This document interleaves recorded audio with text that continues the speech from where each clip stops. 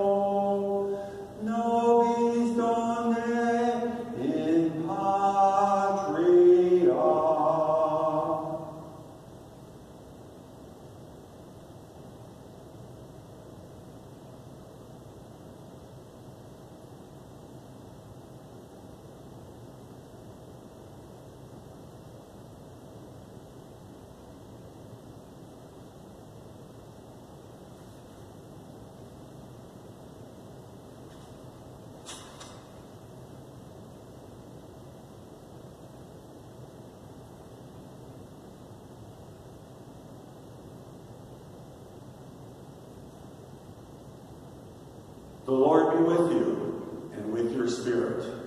A reading from the Holy Gospel according to Mark. Glory to you, O Lord.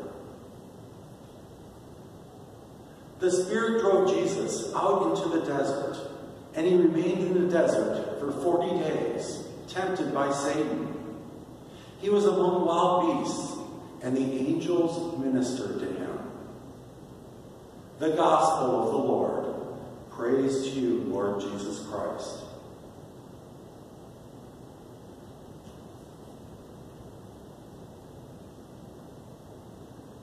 My brothers and sisters, I know that recent events have upended our normal routines. Even our yearly Lenten practices have been affected. Instead of choosing how we increase our prayer, how we fast, and how we help others, God has taken us into the desert to be with Him. We now find ourselves in the uncomfortable position of not being in control. Not that we ever were. So, what do we do? First, we don't give up on prayer. Although we may be disheartened and we cannot gather together in community, God is still calling us to spend time with Him. We can continue to pray for an end to abortion during these 40 days. We can spend more time listening to God through spiritual reading. We can take advantage of religious programming on TV or the internet. And most importantly, we can pray for each other at this difficult time. Second, we fast. While we trust that God is in control and that we have faith that He will protect us, He has also given man the gift of reason in order for our doctors and scientists to be able to understand and advise how to best deal with this situation. And so we take their advice as we fast from public liturgy and our normal routines. Finally, we care for each other. We check on our neighbors and friends. We follow the instructions of the experts. We only purchase what we need at the store. And we share with those who don't have. And we support those who have lost their source of livelihood. It is not the Lent we planned. It is not the Lent we wanted. But it is the Lent we have been given. We thank God for this time with Him in the desert. And we remain open to what He wants to teach us. Trust and walk with our Savior. We'll make it through. We now take some time for private adoration.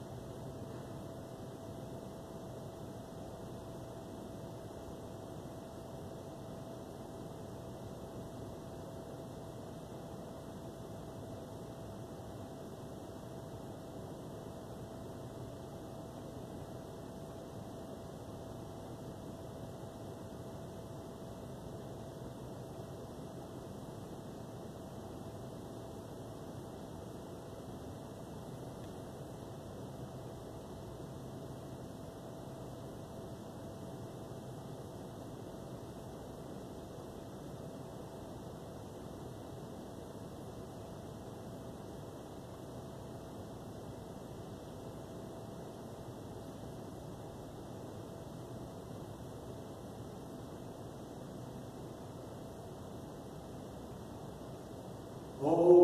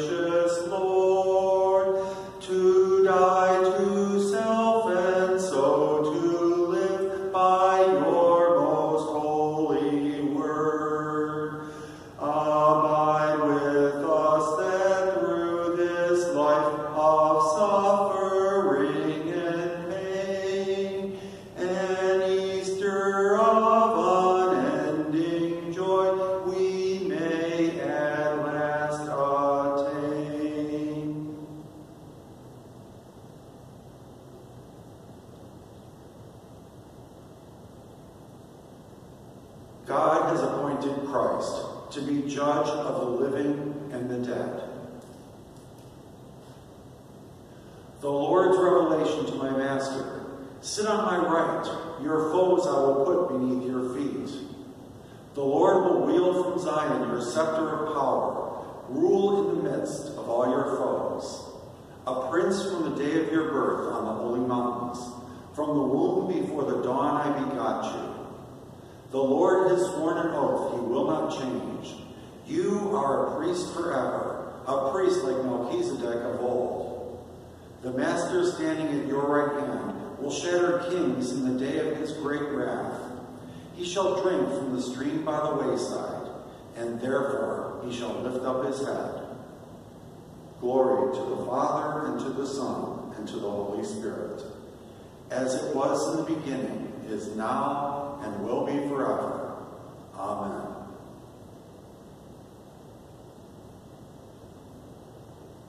Father, we ask you to give us victory and peace. In Jesus Christ, our Lord and King, we are already seated at your right hand. We look forward to praising you in the fellowship of all your saints in our heavenly homeland. God has appointed Christ to be judge of the living and the dead.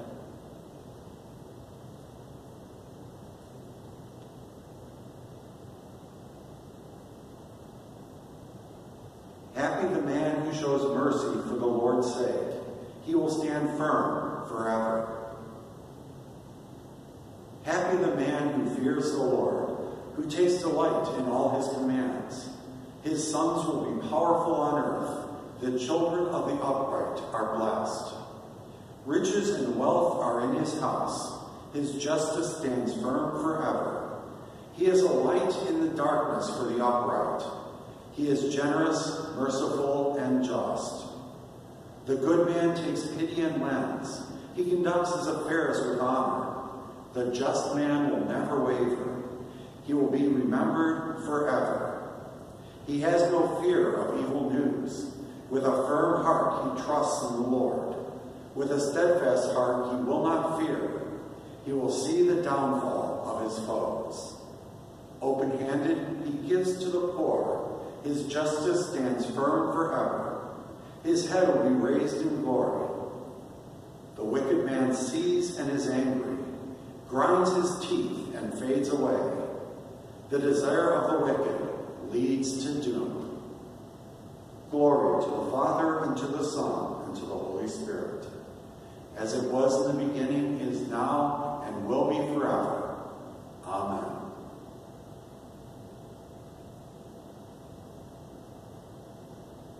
Lord God, you are the eternal light which illumines the hearts of good people. Help us to love you, to rejoice in your glory, and so to live in this world is to avoid harsh judgment in the next. May we come to see the light of your countenance. Happy the man who shows mercy for the Lord's sake. He will stand firm forever.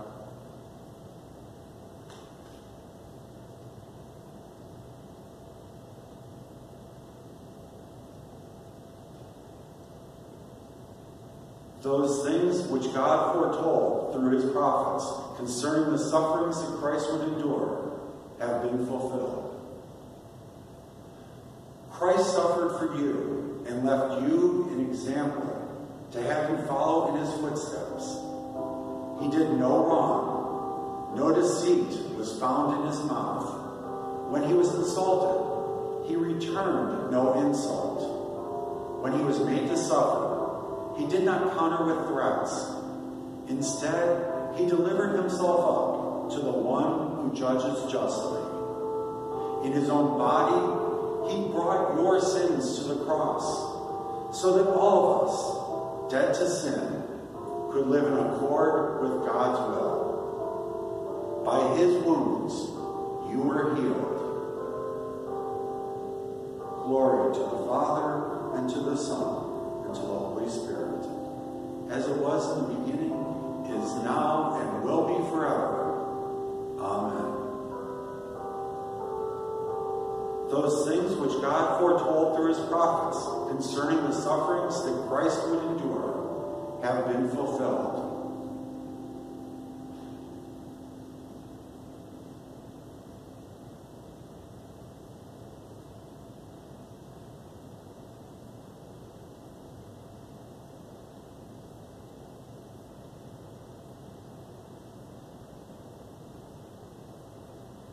While runners in the stadium take part in the race, the award goes to one man. In that case, run so as to win. Athletes deny themselves all sorts of things. They do this to win a crown of leaves that withers. But we, a crown that is imperishable. I do not run like a man who loses sight of the finish line. I do not fight as if I were shadow boxing. What I do is discipline my own body and master it, for fear that after having preached to others, I myself should be rejected.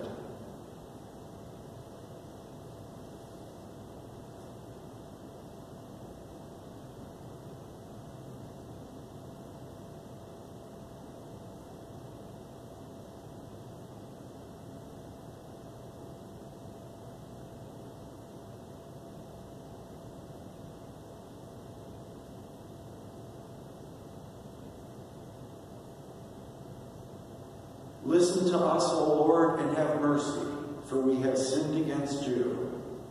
Listen to us, O Lord, and have mercy, for we have sinned against you. Christ Jesus, hear our humble petitions, for we have sinned against you. Glory to the Father, and to the Son, and to the Holy Spirit. Listen to us, O Lord, and have mercy, for we have sinned against you.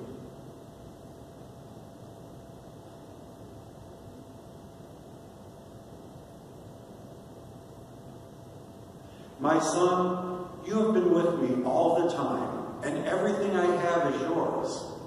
But we had to feast and rejoice, because your brother was dead and has come to life again. He was lost to us, and now has been found. My soul proclaims the greatness of the Lord. My spirit rejoices in God my Savior, for he has looked with favor on his lowly servant. From this day, all generations will call me blessed. The Almighty has done great things for me, and holy is his name. He has mercy on those who fear him in every generation. He has shown the strength of his arm. He has scattered the proud in their conceit. He has cast down the mighty from their thrones and has lifted up the lowly. He has filled the hungry with good things, and the rich he has sent away empty. He has come to the help of his servant Israel, for he has remembered his promise of mercy, the promise he made to our fathers, to Abraham and his children forever. Glory to the Father, and to the Son, and to the Holy Spirit, as it was in the beginning, is now, and will be forever. Amen. My son, you have been with me all the time, and everything I have is yours. But we had to feast and rejoice, because your brother was dead and has come to life again. He was lost to us, and now has been found.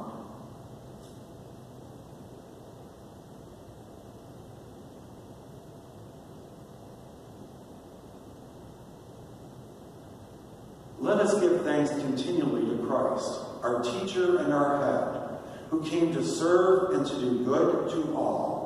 In humility and confidence, let us ask him, Come, Lord, to visit your family. Lord, be present to the bishops and priests of your church, who share your role as head and shepherd. May they lead your people to the Father under your guidance. Come, Lord, to visit your family. May your angel be with all who travel, to keep them safe in soul and body. Come, Lord, to visit your family.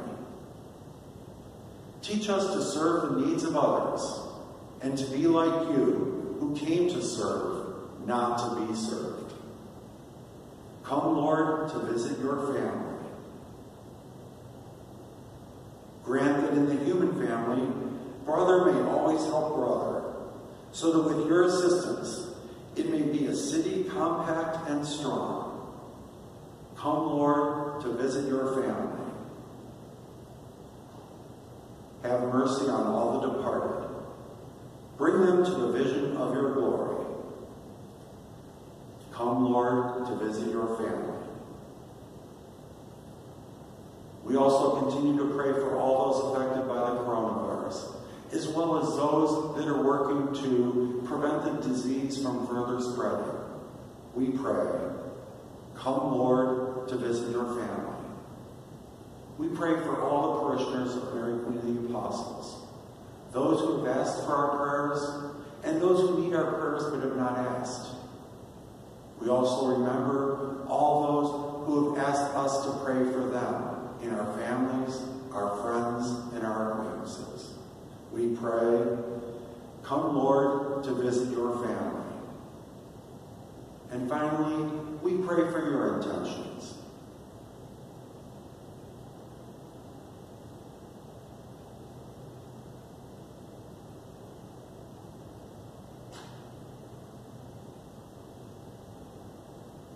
We pray, come Lord to visit your family. Pray in the words our Savior gave us. Our Father who art in heaven, hallowed be thy name. Thy kingdom come, thy will be done on earth as it is in heaven. Give us this day our daily bread, and forgive us our trespasses as we forgive those who trespass against us. And lead us not into temptation, but deliver us from evil. Amen.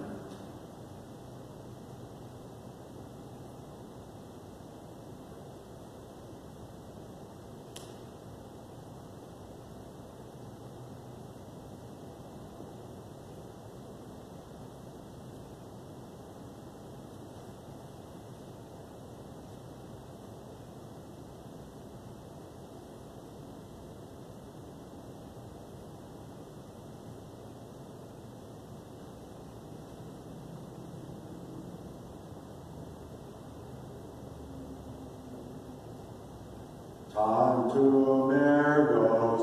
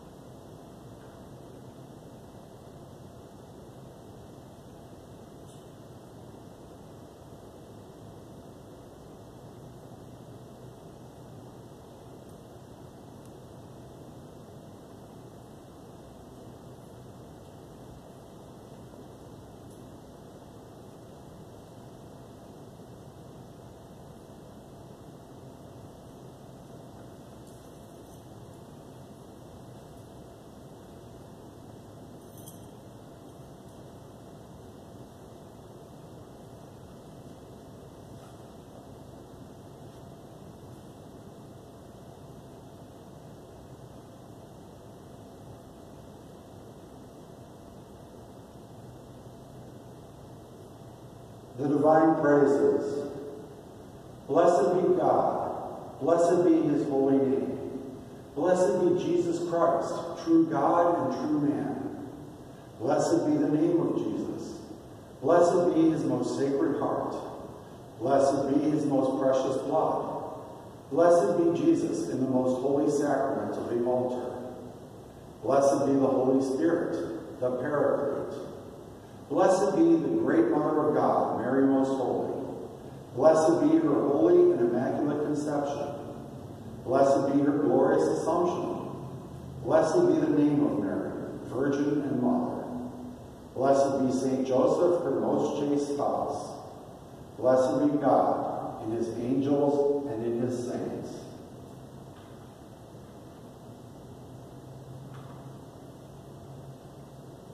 Jesus, how often I think that I am too busy to pray. My days are overloaded, and yet you surely don't expect me to be so preoccupied. How can I not have the time to think of you? You are always at my side, Jesus. You alone are my strength, my courage, my support.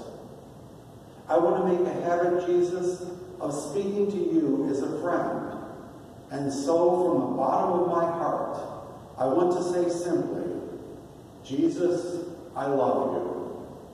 When I am tired, help me to continue to say, Jesus, I love you. When I find it hard to forgive, I need only to repeat, Jesus, I love you.